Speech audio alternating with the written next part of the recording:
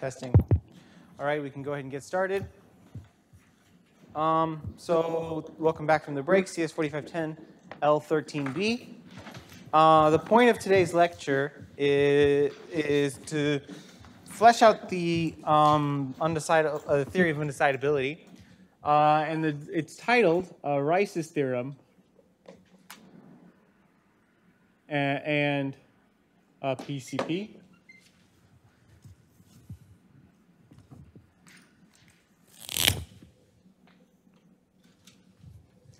So basically, uh, Rice's theorem is about how every, basically everything you would want to know about Turing machines is undecidable. Um, so everything about Turing machines, not just EQTM, ALTM, ATM, uh, ETM, and so on, is undecidable, but everything else is undecidable. And then PCP is an example of one undecidable problem that has nothing to do with Turing machines.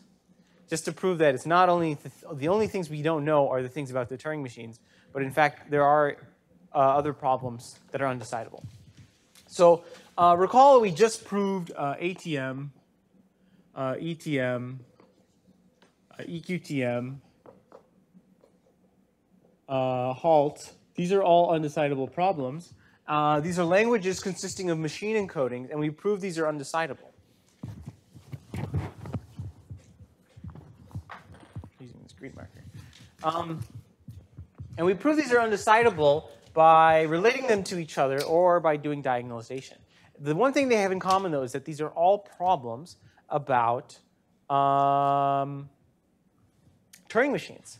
Uh, Rice's theorem basically says, uh, in, in no short words, all uh, non-trivial uh, semantic properties of Turing machines.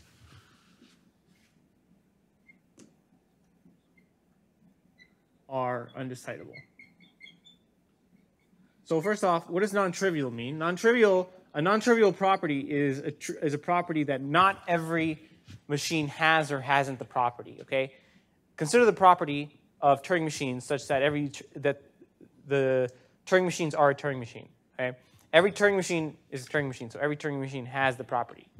Um, the property is non-trivial if there exists a Turing machine with the property and there exists a Turing machine without the property. So it's not total, right? If, if, if it was total, then it would obviously be decidable, right? Uh, a semantic property is one that is about the languages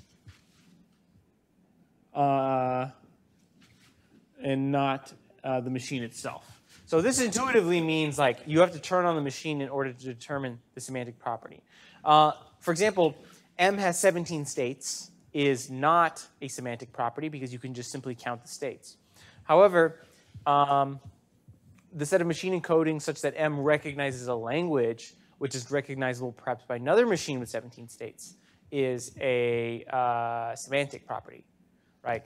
So like uh, another way to think of this, if uh, L of M1 is equal to L of M2, uh, both M1, M2 uh, have or haven't uh, the property. So Rice's theorem is really about the recognizable languages. It's not really about the Turing machines. But we can only talk about the recognizable languages through the finite description, which is the Turing machine encoding. So we talk about the languages through the language for the, through the Turing machines. So what we're going to prove is P is a class, excuse me, P is a language of machine encodings, such that M is a machine has, quote, the property,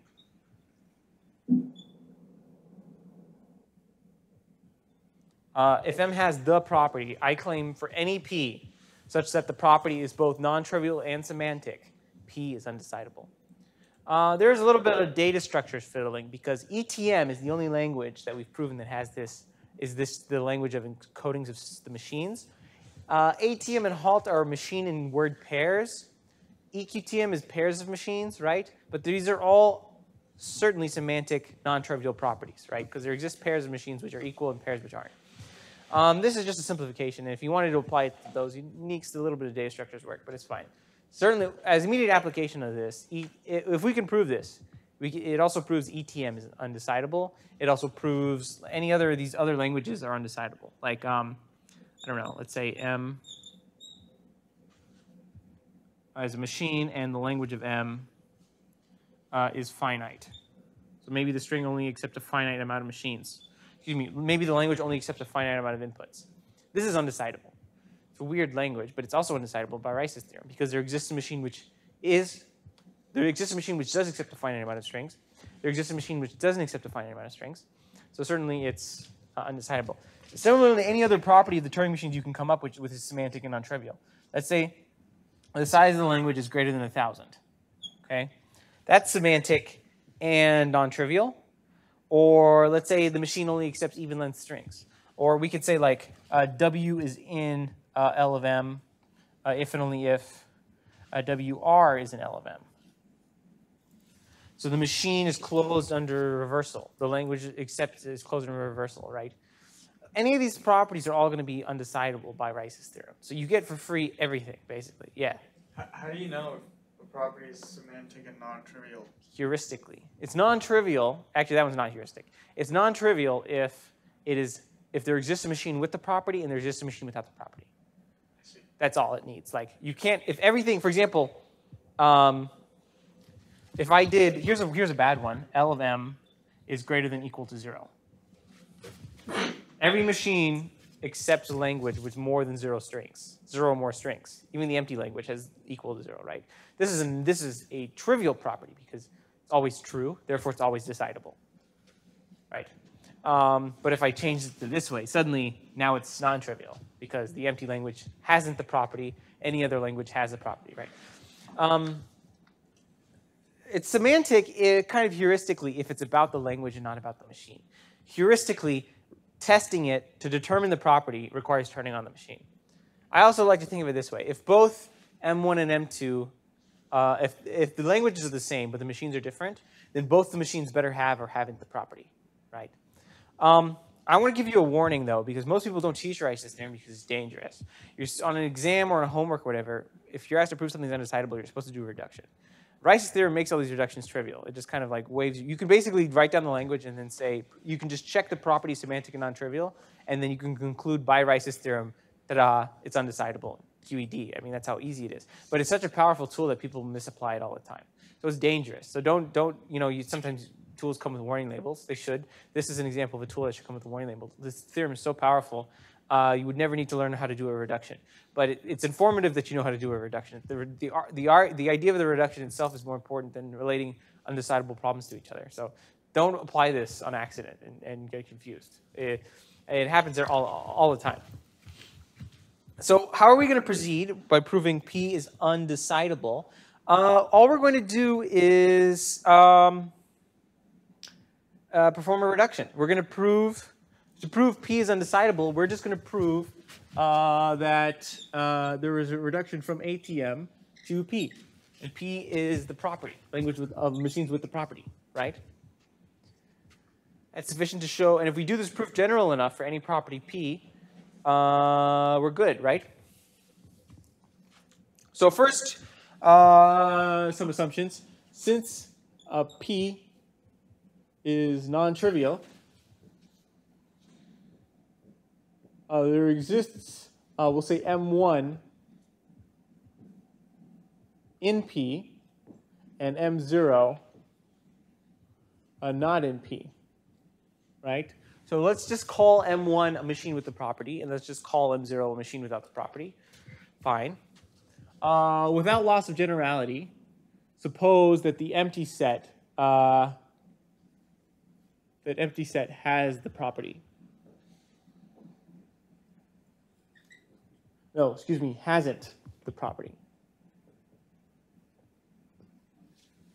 Um, why doesn't it matter that we can assume without loss of generality that the empty set hasn't the property?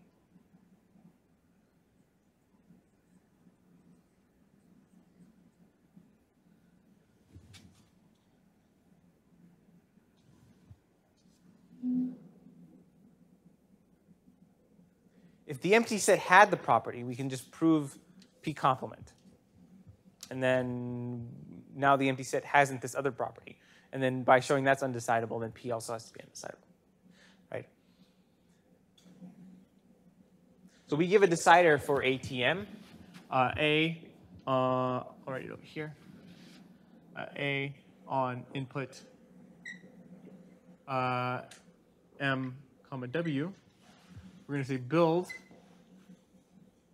uh, M, what do I call it, prime, hard-coded from uh, MW and M1, which is the machine with the property. Uh, if M1 has the property, excuse me, M prime has the property, we accept, uh, else we reject. Right? So now we need to build M1, M prime, to have the property only if M accepts W. So M prime is going to look like this.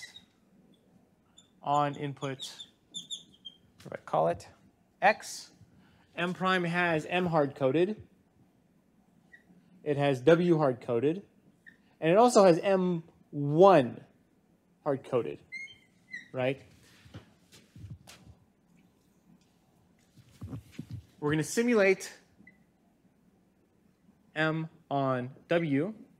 If it accepts simulate uh, M1 on X, except X if M1 does.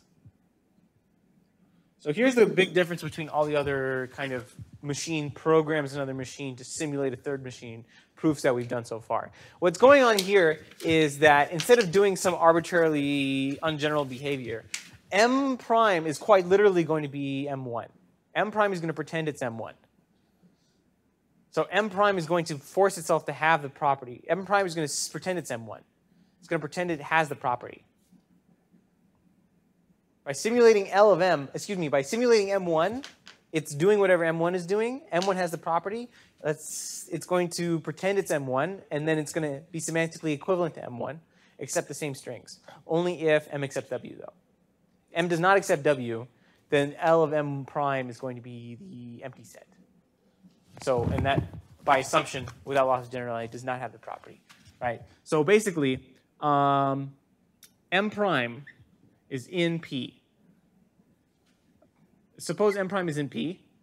That's true if and only if M prime, the behavior of M prime, is equal to M1. There's a lot of M's going around, I know. Okay, agree with that step so far? It has the property only if it's pretending to be M1. And it only pretends to be M1 if M accepts W.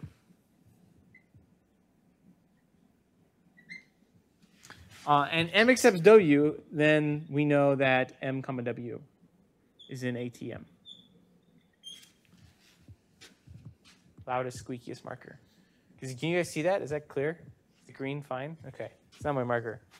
So, um, similarly, if M prime uh, was not in the property, that means that M uh, did not ever reach an accept call. So it just doesn't accept anything. Uh, to accept a string, the ex accept instruction has to be explicitly said out loud. So m prime not having the property means that L of m prime is equal to the empty set, um, which means that, uh, well, actually, uh, uh, this means that m uh, rejects or loops on w which is true if and only if uh, m comma w is not in ATM.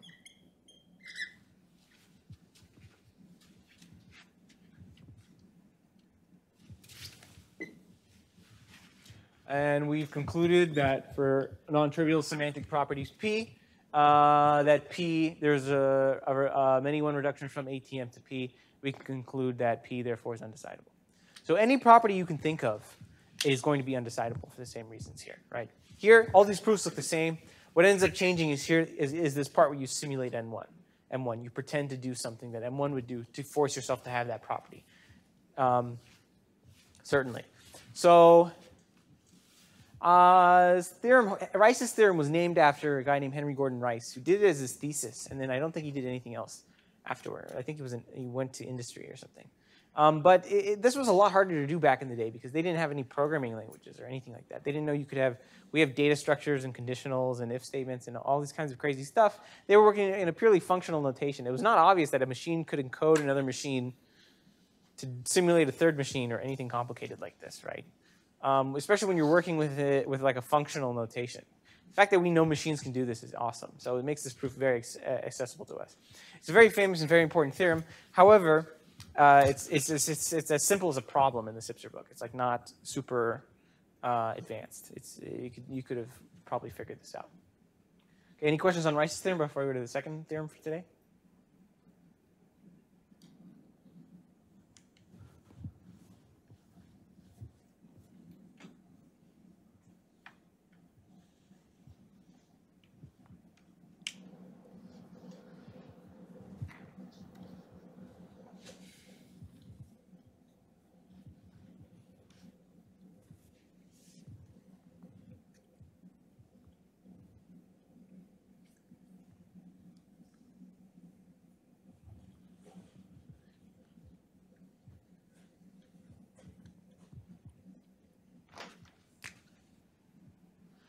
Okay, the next problem is about a simple undecidable puzzle called PCP, uh, which stands for Post's uh, correspondence problem.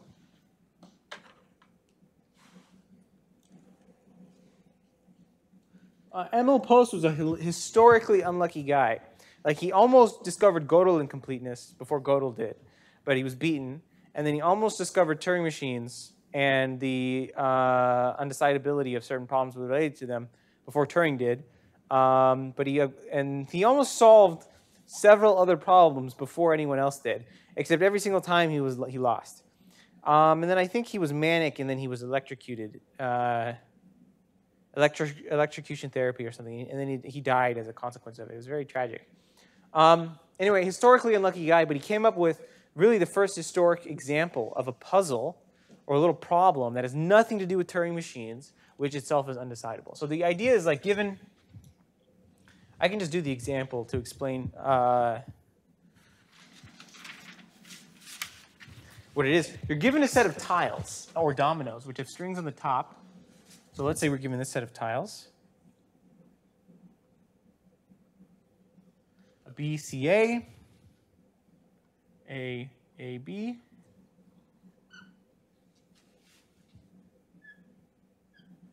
CAA or ABC. So here's an example of four tiles or dominoes. Each one has an upper portion and a lower portion, a top and a bottom. You're asked, you're given unlimited copies of each tiles. You're asked if there exists a sequence of the tiles which form a match. And by match, we mean a concatenations of the of a sequence of the tops equaling the top the bottoms. So you're allowed unlimited copy, uh, unlimited copies of each domino. And you're asked, is there a sequence of these dominoes such that the concatenations of the top in the order you give is equal to the bottom? So I have already worked out this example. And I know that this set does have a match. And it's 2, 1, 3, uh, 2, 4. So let me just do some copies. So this is 1, 2, 3, 4. So 2 is going to be AB, A over AB. 1 is going to be B over CA. 3 is going to be CA over A. 2, 1, 3. 2 is going to be A over AB. And 4 is going to be ABC over C. Right. Um, now, if we write the tops and the bottoms together, what we're going to get is that we're going to get A, B, C, A, A, A, B, C. And on the bottom, we would get A, B, C, A, A, A, B, C. Right? But now if I write these without commas, we get the same thing. We get A, B, C, A, A, A, B, C. A, B, C, A, a, A, B, C. So do we see how this set of dominoes, this 212, 21324 is a match for the set. So we say that this specific set of dominoes has a match because we can create copies of the dominoes in this way. Should draw the borders of the dominoes, right?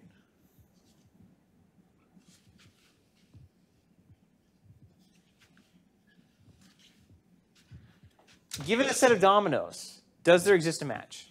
This set does have a match. But there are some sets without a match, okay? Here's an example of a set of dominoes without a match. AA over A. In fact, you can prove this set of dominoes does not have a match, just one domino, right? No copies of this domino. Let's well suppose every set has a match of no dominoes. So forget that. Does there exist a non-zero set of dominoes, sequence of the domino copies that has the top concatenations equal the bottom concatenations? You can. It's obvious to see why. Why is why does no amount of copies of this one domino have a match? The top will always have more letters than the bottom. Exactly. The top always has more letters than the bottom. So this is an example of a, of a, of a set that has none. We give the language uh, PCP for post correspondence problem be encodings of sets of dominoes P such that P is a tile set and P has a match.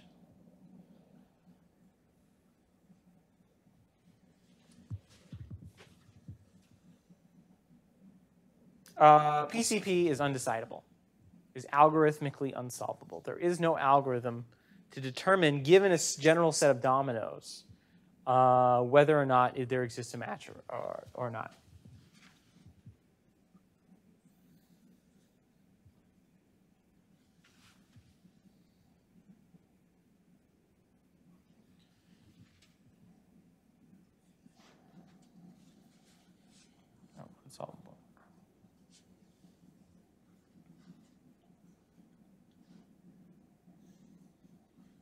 Right. So what's the proof idea here? This is weird because it's not about Turing machines. So the reduction is going to take the rest of the class. It's not obvious how you do it. Um, the reduction is uh, quite involved. It's going to take the whole class. Basically, what we're going to do is, given a machine in, in Word, we're going to prove the reduction uh, from ATM to PCP by given M and W, we're going to create a tile set that has a match only if M accepts W. The other idea to think of that is we're going to force the tiles, any algorithm which could choose tiles in any order to try and search for a match, we're going to trick that algorithm into simulating M on W for us. That's the idea. Um, uh, although this seems like a very, very, very simple combinatorial problem, it's actually quite expressive in the amount of things you can do with the dominoes and with the things, you have a lot of power when you choose your set of dominoes by forcing any algorithm to try and look for a match. Um,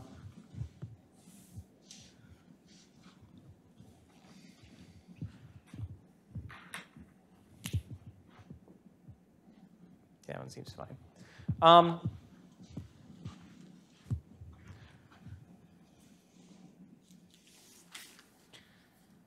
So consider this set of dominoes.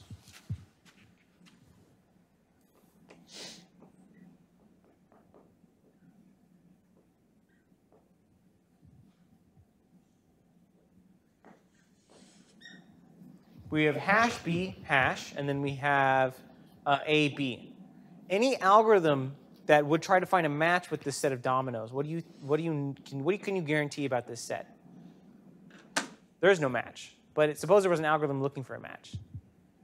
If it did exist a match, we would know that the match would have to begin with this first dot tile, right? It's the only tile that starts with the same character. This tile set's too small to have a match. There's no match. But if there did exist a match, it would be forced to start with this tile. So by choosing the tile set correctly, we can force any match, if there did exist one, to start with a specific tile. Now, we start with this tile, okay? We can consider ourselves uh, the algorithm as choosing them sequentially. Although the algorithm can do anything it wants, we're trying to show there is no such algorithm. Any, let's say if this is the first tile, we also know something about the second tile. Because this is the first tile, the top is longer than the bottom. Whatever tile is chosen next has to have a B on the bottom. So we we can conclude that the subset of tiles we can now choose from to be the next tile has to have a B on the bottom. And by doing so, we can actually force the next tile by making sure there's only one tile with B on the bottom. We can now force the next tile. But now, because we've put in a B, so the, the string is going to go like this. We'll choose the first tile. We'll go hash B hash. Okay, we now choose this one, A, B, right? The top is longer than the bottom. We need a, we need a tile that has A on the bottom. So if there's no tile with A on the bottom, of course there's no match. But we, the next tile would have to be chosen that has an A on the bottom because there's this deficiency. The top has, is longer than the bottom, right? So consider if I added this tile. Dollar sign, A dollar sign, canary, right? This is the only tile with A on the bottom. So of these three, this is the only one that could come next. So we put an A here, dollar sign, and dollar sign. And look at that, we have a match. So similarly as this is, we can force this first tile. By forcing the first tile, we can also force every next tile. And then we can also force the end tile. So what we're going to do is force the sequence of tiles that the algorithm chooses to be simulating the machine. We're going to force it to simulate the Turing machine by encoding the Turing machine into the tiles. So every step of the tile, the next tile is chosen, simulates a step of the Turing machine. Um, and then we're going to have an end cap. We're going to make sure that the, the, the cap only exists if uh, the machine accepted. So the only way you could have this end cap applied was if the machine accepted. So uh, recall what a computation history is. If we have a Turing machine, uh, let's say we have a Turing machine which just sees a zero, it writes a one, or it sees a one, it writes a zero, and it moves right. Or if it sees a blank, um,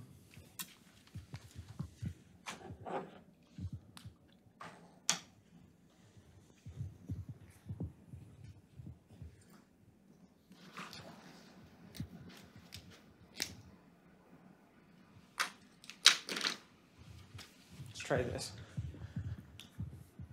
So if it sees a blank, it writes the blank and moves, let's say, what did I say exactly? It says it moves left, right? The sequence of configurations of this is going to begin at, let's say, Q0, um, 1, 0, right? What's the next configuration according to the Turing machine? It's going to be, uh, we're going to read this 1, and we're going to write we're going to read this 1 and write a 0 and move right. So this is going to be 0, Q0, 0, right? Then we're going to read the 0 and write a 1 and move right. So this to be 0, 1, Q0, blank. And the next one is going to be, we're going to read the blank, write the blank back, and then move left. So this is going to be 0, QA, 1, blank, right? This is a, the computation history is the sequence of this configuration of the Turing machine. What we're going to do is encode the sequence uh, as a string like this. Hash Q010, hash 0Q00, hash 01Q0 blank, hash uh, 0QA1 blank. So this is uh, a computation history is just a string that is that exists and is syntactically correct if the machine accepts the word, okay? This string exists and is correct only if this machine accepts the word, right? It is a, by, so if you can determine if a, you can have a, any device check the syntax of a string, that's sufficient for you to determine if M accepts W. You just check the first one as a start configuration, check each configuration follows, and then check the last one as a configuration. So this string only exists and is correct if the machine accepts W. What we're going to have our do is our tile set match the top and the bottom to be that computation history. That's quite literally what we're going to do.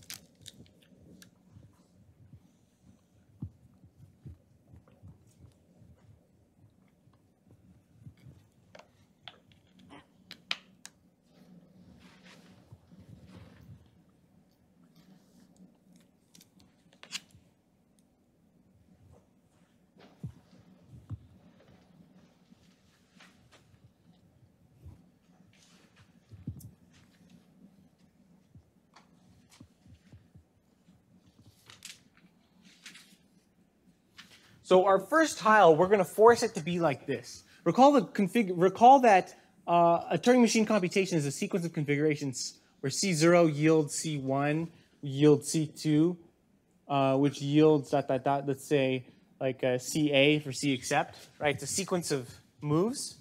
A computation is a sequence of steps. What we're going to do is begin with the tile uh, hash on the top, hash on the bottom, C0. Right? Now, the, there's a deficiency because the top is less than the bottom. The machine is now, we're going to create the set of tiles so the machine is forced to pick the next tiles in the way we want. It's going to choose C0 in such a way that it's going to be forced to write C1 next. So basically, this is going to go after some steps it's going to, finally it's going to write C0 on the top to match the C0 on the bottom. But by doing so, we've tricked it, we will trick it into writing C1 here. Now there's another deficiency because by writing C0 at the top, it forces itself, by forcing itself to write C0 here, we've tricked it into computing and writing C1 here. We repeat. It's going to be forced to write C1 here, and it's going to write C2 here. It's going to write C2 here, and it's going to write C3 here and so on. And we're only going to be able to end the deficiency and add this cap. We'll have this tile that looks like this, CA, hash, hash, something like this. This tile can only be added to end the deficiency. It's going to be the only tile with the top longer than the bottom. Uh, it's going to be added to fit on the cap only if the machine accepts. So you can only add this cap if the machine accepts. That's the goal. So we're going to begin with uh, this proof conceptually is very simple, but has a, has, has a ton of incredibly small uh, and obscure details. So we're going to begin with, this tile. We're going to have hash, hash, q0, w1, dot, dot, dot, wn. That's tile 1. Okay? Next, we're going to add, we want to simulate for each write move.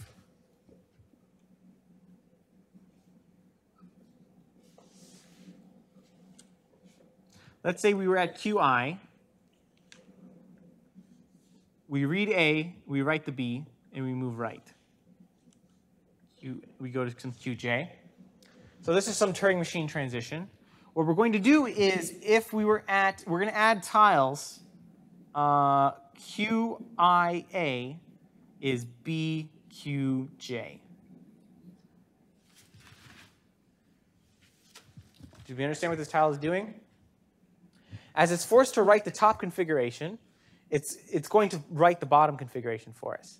This is a step of the Turing machine. If you recall the proof that we proved that unrestricted grammars were Turing complete, we noticed that the sequence of configurations really is a small substring update of each one.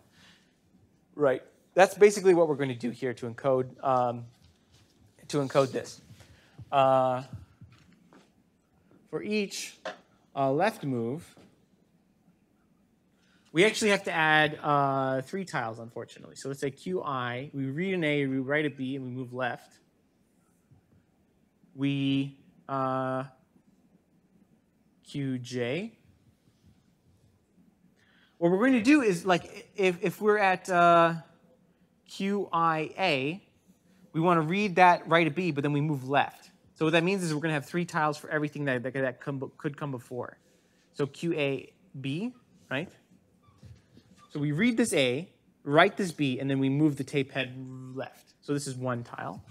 And it's only because we have an asymmetry in the way we've encoded the information. The tape head is pointing directly at the cell, uh, that it's above, but when we write it, we just write it to the left of it. So we have to ha we have to reckon with that asymmetry we've introduced.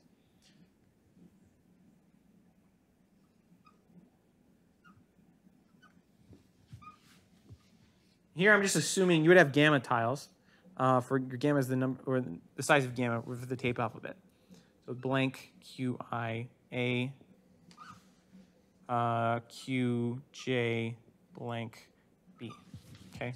Everyone agree with these three moves so far? What they do? What's the point of them? Any questions so far? This is really the heart of the proof. Um, by forcing to write the top configuration here, it's going to uh, write the next configuration on the bottom. And this, this pair is, is, is exactly that match.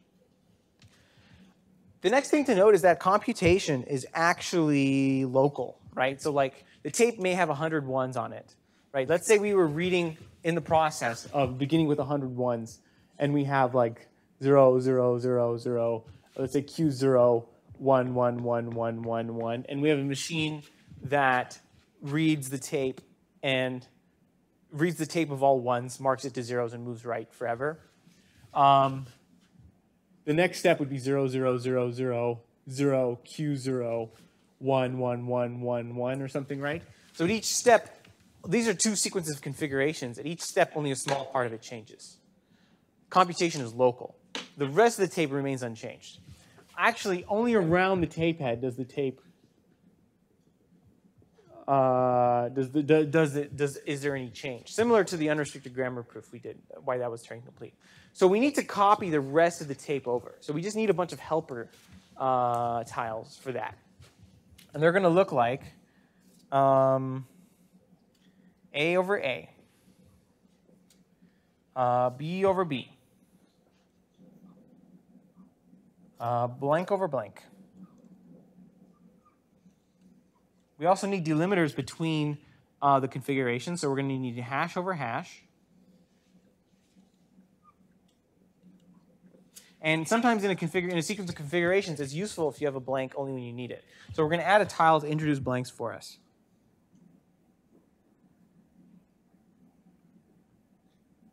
Right. So we add we now add these five tiles. We add one tile per right transition, three tiles per left transition, one start tile, and five of these helper tiles. There's a problem when we add these helper tiles, though. What's the problem with this, doing this?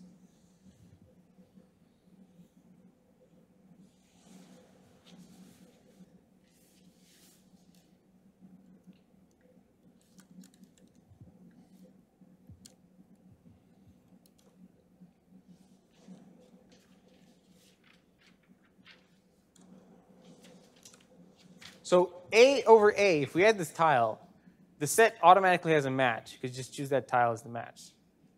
So we've ruined the whole structure by adding this tile A over A. Yes? Do you have, I thought you always had to use all the tiles for your match. No, you can use any subset of tiles. I see. Yeah. That would probably be undecidable similarly, though. Right. Had to use all the tiles, right? Um, suppose we're using a subset of the tiles. You would want to usefully use all the tiles, right? Um, by choosing this match, it's uh, problematic, right?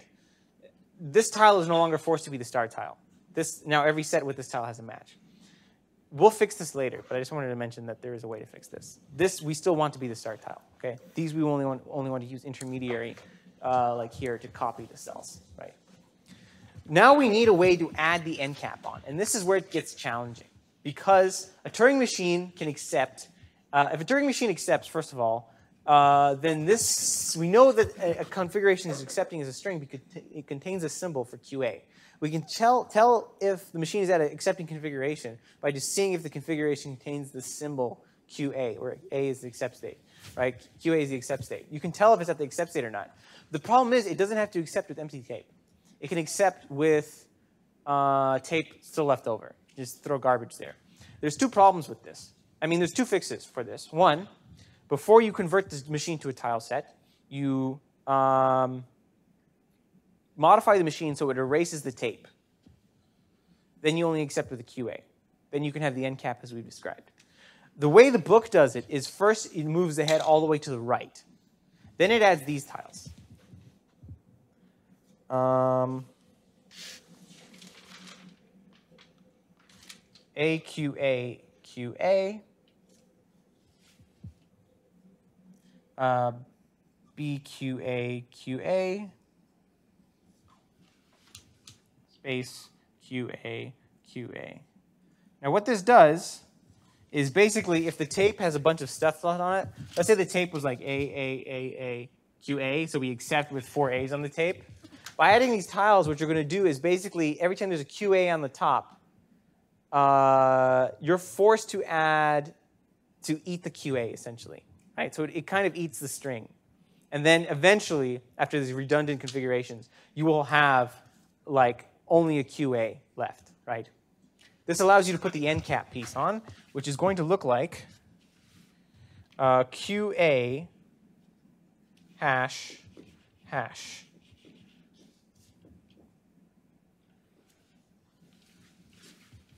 This is the only piece that is, these are the only pieces which are longer on the top than on the bottom. And you can only add this piece to complete the deficiency. So as you, as you compute the cells, uh, they're all going to have a deficiency, right? They're, you're, forcing the, you're, you're forcing them to add more cells. And to have a match, the tops need need to be the same as the lengths at the bottoms. You only get, you only fix this if you add this cell. You only will have a match if you can click this piece in at the end, and you can only click the piece in at the end if the machine accepts the word, right? So this is the set of tiles you have to make in order uh, to convert a machine into a set of tiles, such that the, the, the set of tiles um, has a match only if the machine accepts the word, right? To reiterate the proof, you begin with this tile, hash, hash, C0. The machine is forced to choose tiles at the top, right? So, um, for example, this tile begins with Q0W1, okay? The next tile it chooses has to have Q0W1 at the top. Maybe at the left move or the right move, right? It's going to be the it's going to have to be a right move because I guess the first move can't ever be left, right? Because it's going to can't ever be left correct to move off the tape. So it's going to choose the right move tile first because it has QA I on the top, okay? So it's going to put QA Q0W1 here. But by doing so, it's going to put BQI here. So it's forcing itself to write C1. In order to write C1, it's going to write C2, right? And only and so on, right? Then finally, to put the cap on, you need this piece. So that's the only way you'll have the match. Um, let me talk about how we're going to fix this issue, where we've introduced a tile that adds this redundancy for us. And it's kind of ugly. We don't really want uh, that to be possible. So let's use this shorthand, like uh, uh, for u is equal to u1 dot, dot, uk. We say dot u, or maybe I should do a star. We'll say star uh, u is equal to star uh, u1 star u2 dot dot dot. We'll say star here, star UK. So the stars, star U is an operation that puts a star to the left of every symbol. Similarly, U star is going to put a star to the right of every symbol.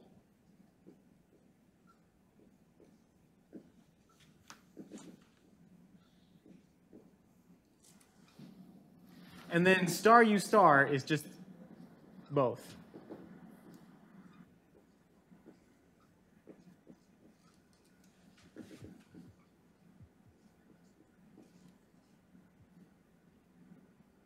Right. Any ambiguity about this new notation I've just introduced? Just star U, U star, star U star, I mean, right? It's just a way for us to introduce symbols. Yes. How come there's for star U star? Should so it should be star U star and then another star, right? So star U star is the definition on this side. This is what it means. Star U1, star U2. Basically, if the star comes in before, the star comes before every letter. If the star comes after, the star comes after every letter. If the star comes both, it comes before both and after every letter. But there, there's, there's not gonna be two stars. Definitely not. No two stars. Absolutely not. So now if we're given tile set, let's say T, S, uh, B, S, comma, uh, T1, T2, excuse me, uh, T1, B1, uh, T2, uh, B2, a TK, BK, a TE, BE. So basically what's going on here, I have some set of tiles. I've just denoted all the other ones by T1 to TK, B1 to BK, where T is for top, B is for bottom. I want TS to start, and I want TE to end. I want E, S for start and E to end, okay? I want to force any match to be a match that begins with T, S, BS, and end with TE, BE. So what I'm going to do is just modify this tile set in the following way. Um, the first tile is going to become uh, star TS uh, over star BS star. All the other tiles are going to become star T1, uh, B1 star.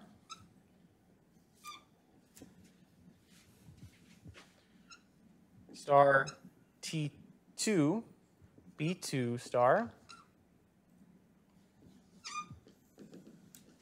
And the end tile is going to be uh, star TE star over BE star. Right? So notice that every tile, uh, so notice, notice because star is a new added symbol, every tile, the only tiles that start with the same symbol is going to be this one, because this one starts with two stars. Star, star. None of these start with a star on the bottom or the top. They all start with something else. Stars on the top, no star on the, on the bottom, whatever B2 is, whatever that string is, A's and B's, right? But the top starts with a star. So none of these tiles, T1 to B1, uh, T1 to BK, T1, B1 to T1, TK, BK, are going to start with the same symbol. So none of those can be a starting tile. But, uh, and TE to BE is going to be an ending tile because it's the only tile that ends with stars right?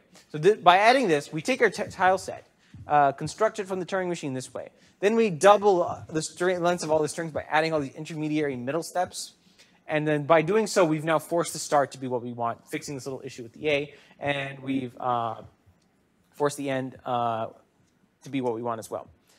So we can, the, the, the, reduction here follows quite simply, that given a, a, Turing machine, we, we perform this complicated reduction, and uh, we have a tile set such that m comma w um, is going to be in ATM, uh, if and only if uh, the, the tile set has a match. Right? Any questions on this proof so far? Very unrigorous, very unserious, but that's sort of the nature of, uh, of how complicated this argument is. Now that we've proven this uh, language is undecidable, we've really proven is there exists a puzzle, a very simple puzzle. Like you could imagine this is a game maybe you played as kids or something, I don't know, like Go Fish or something. It's, it's, it's very simple. You could imagine uh, that many other similar games are undecidable. And now that we've proven, in some sense, this, although this is a reduction from ATM, uh, this is, seems like a much simpler problem than uh, ATM itself. What you've done here is you've, there's just enough structure within the problem of PCP for you to encode uh, the transition function of a Turing machine.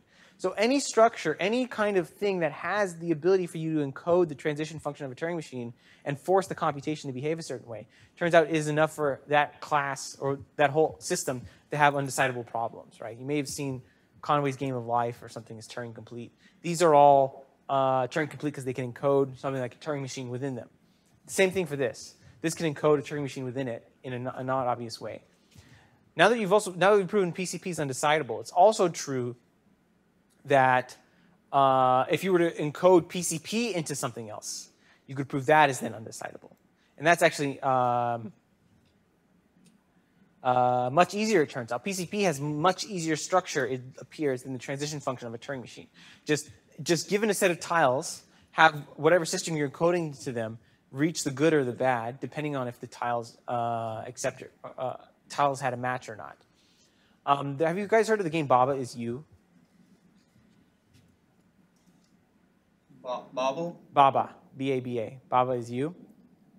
It's, there's a recent paper in a sequence of YouTube videos. I'll have to share it. But basically, he gives a Baba is you level where you're a little, this little mouse and you walk around the level and you have blocks that can uh, join rules together to change the rules of the game, right? He creates a Baba is you level that has a solution, like there's a way to reach the goal in the Baba is you level only if PCP has the PCP instance, the tile set has a match, right? So th there's a reduction similar here. Um, like, like in class, I don't you maybe you can take it with me, but I proved Super Mario's NP complete. I, I gave a level that has a solution. Super Mario level has a solution only if SAT, a certain SAT instance has a solution. Similar here, similarly with this reduction. This is a simple problem like SAT that you can encode into other complicated uh, structures. And then you can prove those things all have undecidable problems with them. Right? All right. I will see you guys on Tuesday. Excuse me, on Thursday